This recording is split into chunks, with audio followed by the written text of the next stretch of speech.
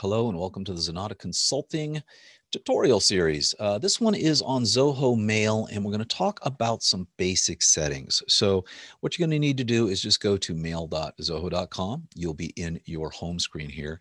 Now, the interesting thing about Zoho Mail is it also encompasses several other apps. You've got calendar, tasks, which by the way is completely being revamped, notes, contacts, bookmarks. So when you go into the settings, which is in the upper right-hand corner here, and you click it, you're going to be presented with a whole bunch of settings, which may or may not not apply. Uh, thankfully, Zoho breaks these down for you. So if you wanted to do mail, you can just click on mail and it's going to limit you to uh, just the settings you want to look at. Today, we're going to focus on signatures. So what I'm going to go in here is I'm going to look at my signatures and you'll see I've got a basic signature set up here. You can do some things when replying, forwarding, place this signature above the original quoted mail and you have your signature and you'll notice it's associated with an address.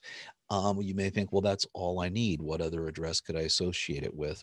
Well, if you have a group or if you have set up an alias, as we talked about in our previous videos in this series, then you may want to set up a completely different uh, email signature for that. So all you're going to do is click add signature.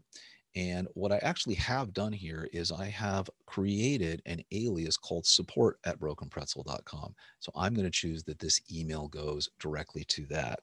So by doing so, basically what you're doing is anytime someone replies to you at support or emails you at support, and when you reply, it's going to put this signature in and not your personal signature.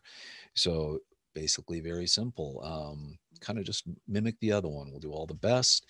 And instead of your name, you know, the support team at Broken Pretzel and then of course your phone number but you get the idea. Very straightforward just kind of another way to separate your signatures separate your replies reply from a different signature and kind of handle everything kind of separately. So real easy to set up your email signatures real easy to set up as many email signatures as you would like.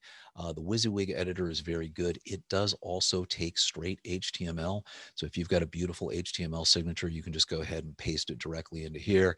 Uh, there are a lot of services that allow you to create those. Makes makes it real, real simple to do. So that's setting up an email signature inside of Zoho Mail. Hey, we hope you found this useful. And if you want more information from us, please be sure to subscribe to us on our YouTube channel. And don't forget our newsletter. Just go to zenatta.com slash newsletter to subscribe to that. Every week, we give you all the latest and greatest Zoho news, tips, tutorials, and also a link to the CRM Zen show where we talk about all things Zoho every week. Thanks for listening.